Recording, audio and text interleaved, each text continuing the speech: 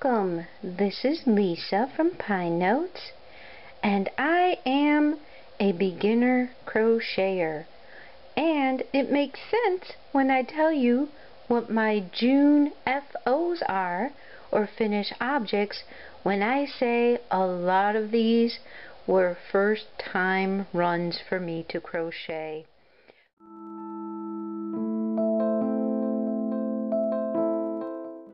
Going to start with the Bernat sock.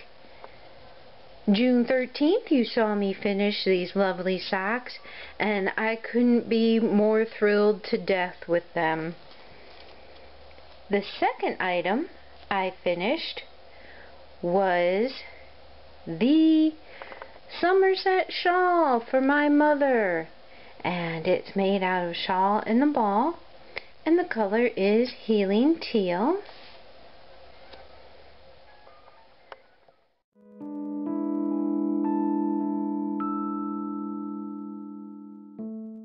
If you didn't get a chance to watch my video, I love this book, Secret Garden Embroidery, please do.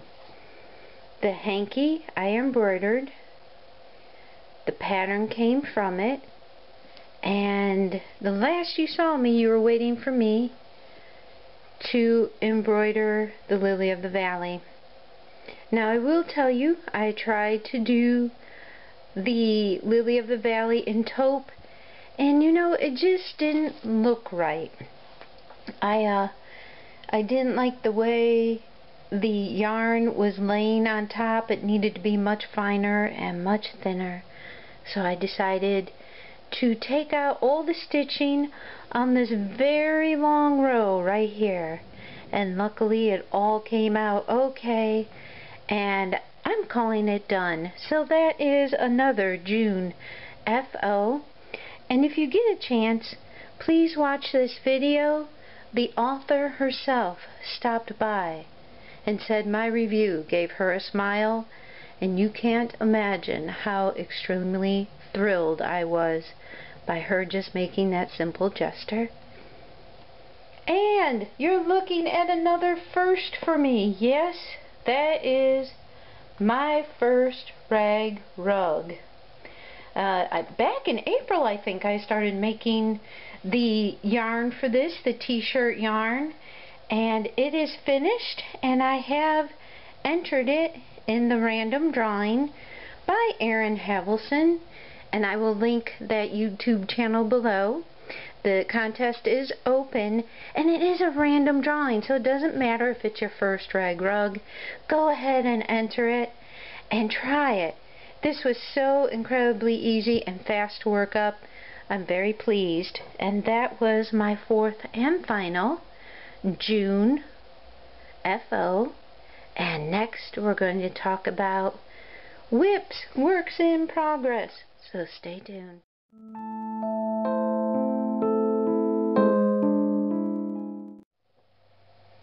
My July WIPs or works in progress. As you know, I am working on a sock and it is just gorgeous. I'm absolutely in love with this material. Although the Bernat sock yarn was a fantastic and wild colorway of the rainbow, I'm in love with this Victorian. It's very soft, very woolly. And again, it's, it's a fall project, so I'm not in a real hurry. And yes, it does look a bit smaller, I will say, because I'm using the proper size hook according to the pattern. Last time for the Bernat sock yarn, I used the hook recommended by the yarn. So for the pattern, I am using the correct hook for this. So it is a bit smaller, a bit tighter, and you can't see through it at all. It's a wonderful knit. My next work in progress for July is yes, I'm still working on the business cards. You may recognize this yarn as the Bernat sock yarn, so I am still going to use my leftover yarn and weave it through the ends. I don't know if I'm just going to do one end or or whatnot and handwrite.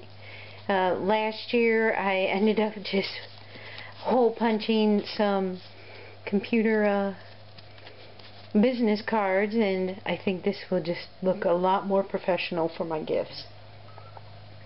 Let's see, what else do we have here? Hmm, do we see a new item on the table? Yes, we do. I'm not sure how this colorway is coming up in the camera, but it is called Mauve, Mindful Mauve, and it sure looks a lot more lavender, heather, uh, gorgeous, gorgeous purple colors than it does in the camera. And this is the month of frogs for me. I had started this and I'm going to insert pictures right here.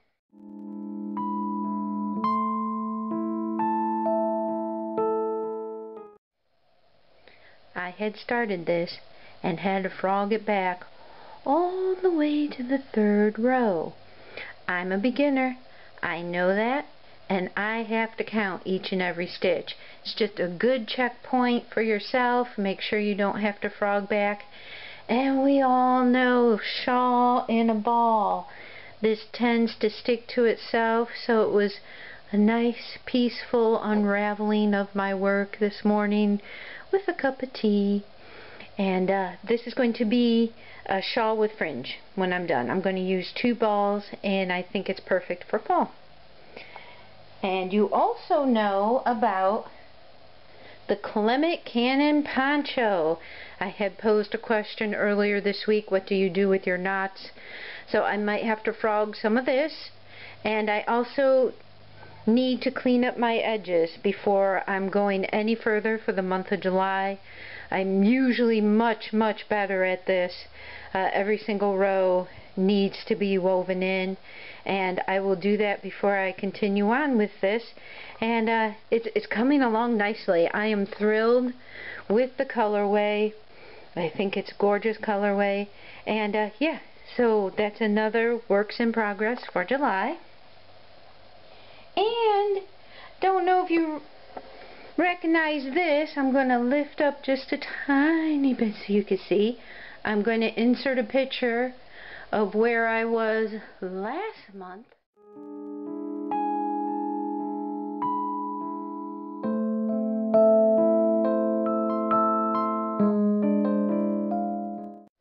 with my cable sweater and I think I gained about two inches on this. It's a very very heavy piece. It's 100% acrylic and I did do, this is my own crochet pattern for the cable stitch and I did do a video of a software program for uh, making your patterns and keeping record of because uh, with the hot 90 degree days I did not want to pick this up I worked on it the 1st of June and that's about it. But I'm happy. I got two inches in. I don't have too much more to go before I work on the back. That's it for my whips, for my crochet projects. Be back in a moment with more.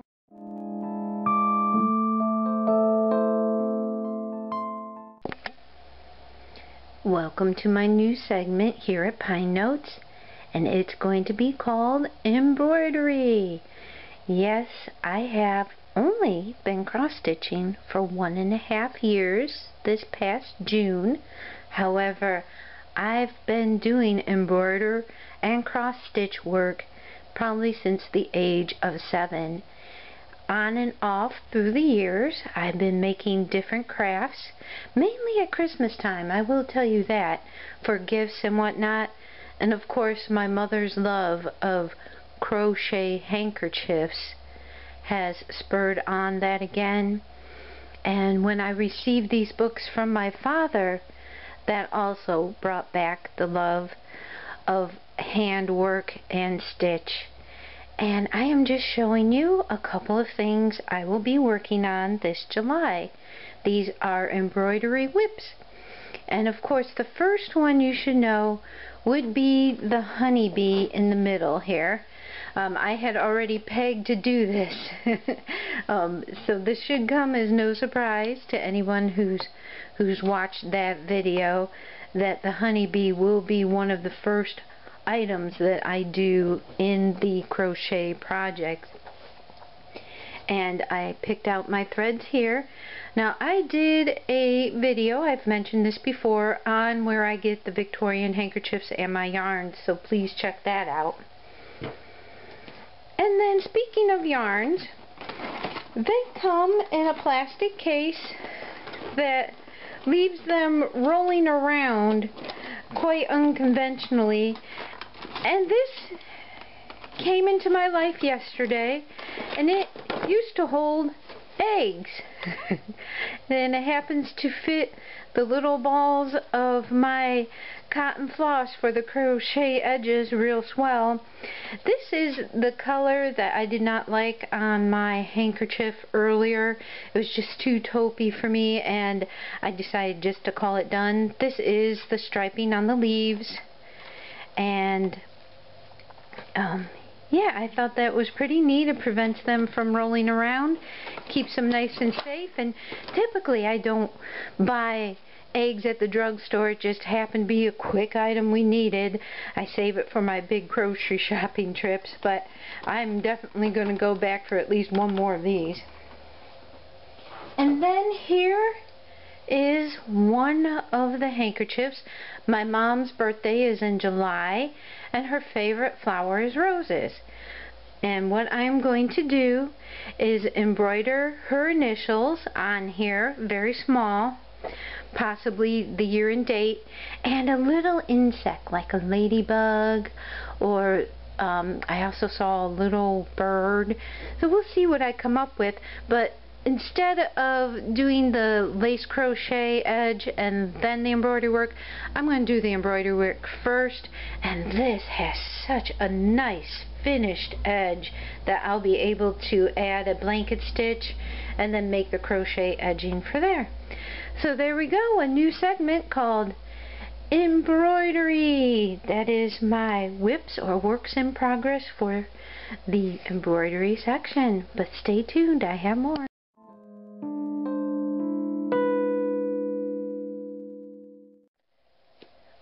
Should babies have all the fun?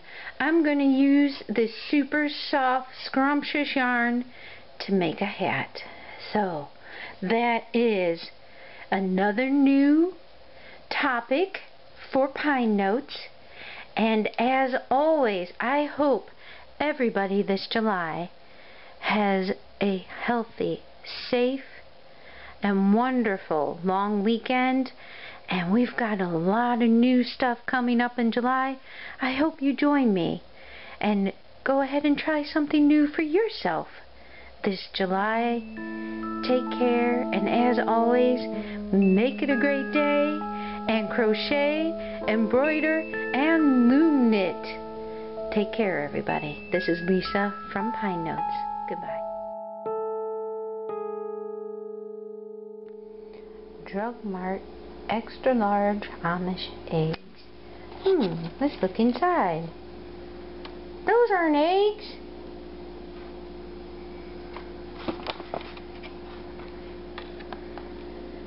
It now holds crochet thread. Hmm, omelet sounding real good now too.